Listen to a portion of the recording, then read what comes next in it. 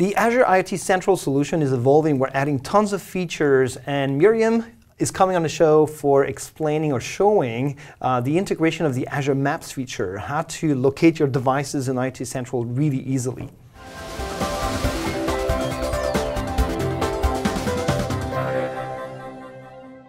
And thanks for watching the IoT show. I'm Olivier, your host. Um, today we have Miriam with us. Hey, Miriam, how are you doing? Hi, Olivier. Good. good. Thank you. How are you? So fine, fine. So Miriam, you're part of the Azure IoT team. You've been in the team for some time already. You're mm -hmm. not the, the, the new in the team. Like people are coming every day in this team. The team is growing like crazy, and so are our products, right? And so you're part of the Azure IoT Central team. Mm -hmm. Why are you here today?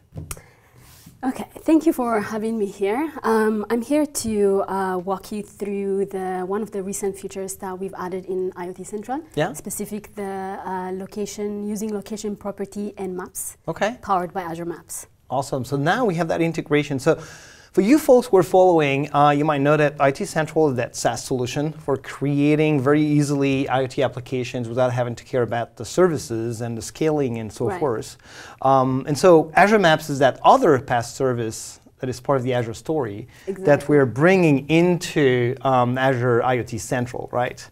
And so you're going to show us how that works. Yeah, so how about you tell us a bit more about this uh, Azure Maps integration to IoT Central, and then you're going to show us, right?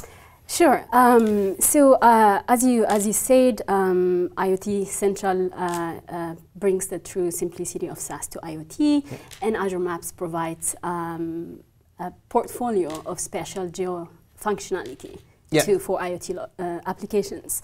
Uh, so one of the uh, recent integration that we've done is actually the ability to use and add a location property okay. right in your IoT Central application and then also visualize it in a map uh, okay. again without any expertise on um, the cloud side. Yeah. And, and, yeah, one of the things we're saying about IoT Central is that it's codeless, right? So you exactly. don't have to write code or write against APIs right. of services.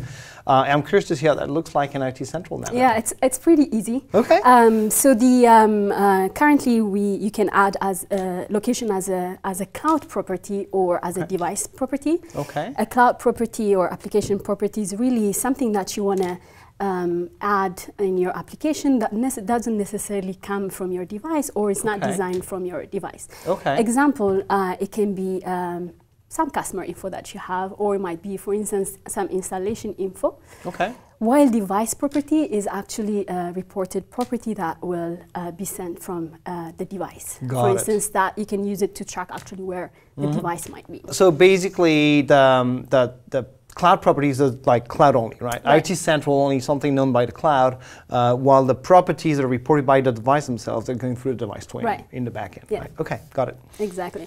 Um, so let me walk you through an example here. Um, here I have a refrigerator. Let's okay. say I have the sample Contoso mm -hmm. app, and I went right on the properties tab. Okay. And I've already um, um, set up, added a location property. Okay. So actually, let me remove this for a second. The way you do this is by adding this location okay. property, and this will be uh, the property that will uh, provide you um, uh, location uh, that's powered from uh, by Azure Maps. Awesome. And so this is all way drag and drop. This is the like IoT Central goodness of being able to create your dashboards directly in that web page. Exactly, yeah. Got it. Uh, so let's do that. I I'm trying to add an installation location for okay. this refrigerator one mm -hmm. that I mm-hmm. have.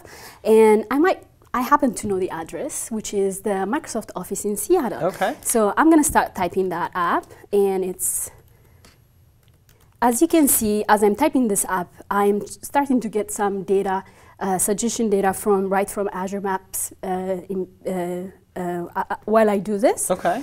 And so let's say, so there, there's nothing you had to pre-populate. You, you don't have a list of addresses or whatnot, right? Azure Maps does the work exactly. of finding the address based on your input. Exactly. Okay. Yeah, it's exactly as you've seen it here. So it happens to be this is the address that I'm looking for. Okay.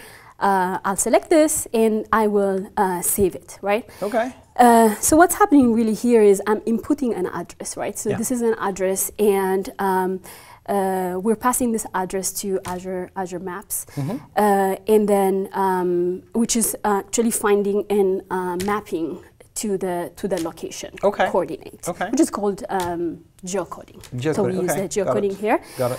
Uh, so we have this uh, perfectly an address here. Mm, Azure Maps also uh, supports um, um, at least for 38 regions um, uh, geocoding up to the street address. Okay. However, I can still add uh, city level addresses. Okay. Uh, for instance, I might do uh, Asmara, which is actually my home city, and I can find it, which is very pretty cool. awesome. How many regions do you say? Uh, 38 regions. 38 regions. down okay, to the uh, home address and sti- street Okay. level, and for the rest of the world, you can still map uh, city level, which is very cool. Got it. Okay. Uh, so what we're gonna do here, actually, let me go back and uh, do my Westlake address. okay.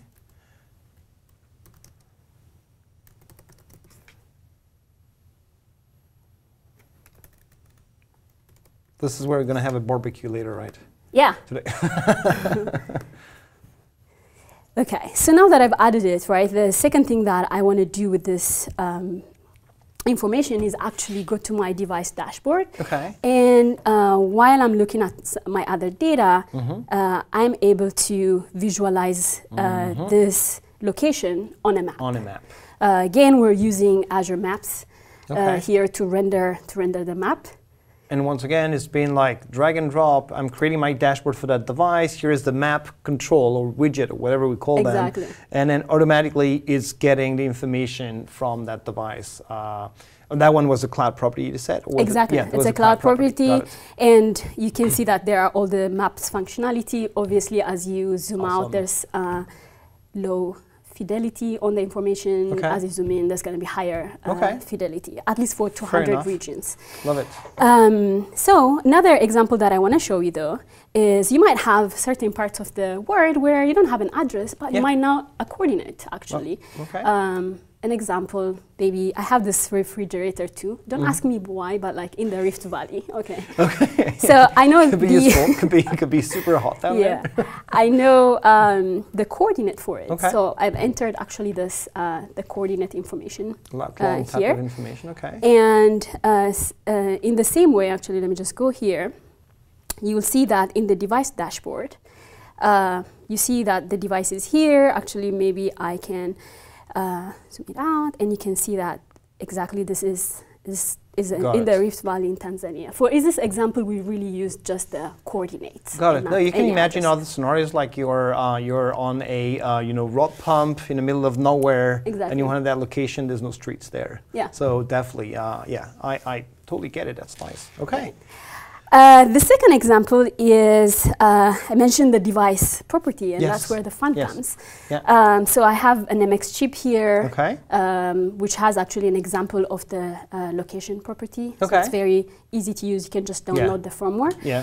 And, um, And that's a that's a fake address because there's no GPS on that device, right? That's true, But then yeah, you can imagine having a device with a GPS. Yeah. It gets the information, and you would actually pass it up to IoT Central the exact same way you're doing that Exactly. simple. Yeah, you got it. So in this case, uh, this is a reported property from the device. Okay. Um, it's going around some interstate, and Okay. it's kind of changing uh, once in a while. Oh, it's moving. It's Got it. moving. It's a moving yeah, device. Love it. Exactly, and um, we can see here. Maybe like, let's try to locate Where, where, it where's went. it? Where did it go? Oh, there. I can oh, see it, it. yeah, it I can see it. Yeah, so It's coming interestingly, it's coming. We can back come back and see like where it's going actually, maybe. Okay. Um, so pretty much, um, these are the two ways you can add a location property Okay. as a cloud property. Mhm. Again, it's, it's not required uh, for that data to come from the device, but there might be legit use cases for that.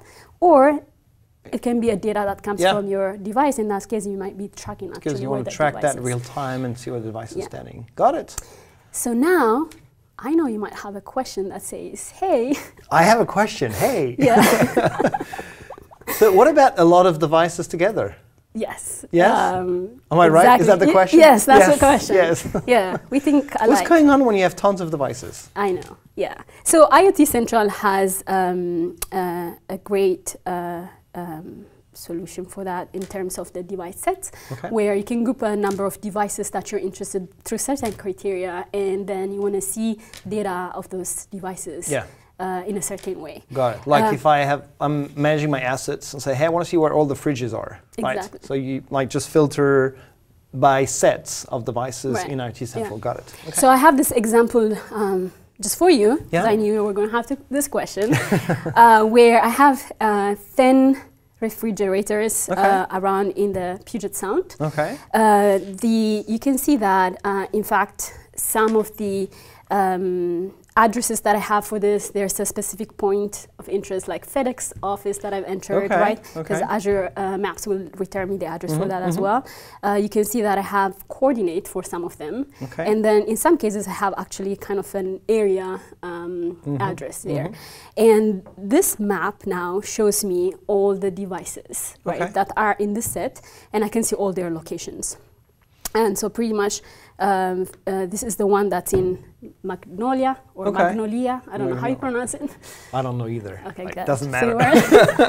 I would say the French way. I would say the Italian The way, I Man- Magnolia. Magnolia. Magnolia. Yeah. Yeah. Exactly. Yeah. Close.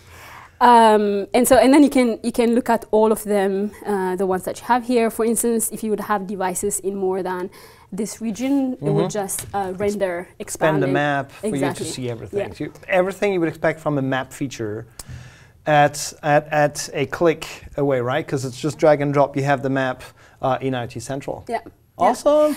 Just one uh, thing. Also Yeah. here, you might have seen that I have different colors. Oh yeah. This is a Yeah, recent addition indeed. that the team uh, just added in terms of uh, I can color. I can decide my co- the color of the pin to be uh, through my the device state, Oh, which is cool So because then you can say, hey, in this case, um, the device state is normal, so I can say, okay. I'm not worried, but this one I can see it's a little red, it says caution. Yeah, so cool. So you can actually use these colors to show on the map to the operator or to whoever is using that IoT Central application what the status of the device is at a glance. So it's like pretty useful. Love that. Pretty straightforward. Yeah. Awesome. That was great. Uh, you know, perspective on this new feature, Miriam. I am sure I will see you soon with more. Uh, thanks, guys, for watching the IoT show. Don't forget to subscribe. There's links down there or up there. Don't remember. Uh, and we'll have more news from Miriam on IoT Central features Wilson. Thank you. Thank you.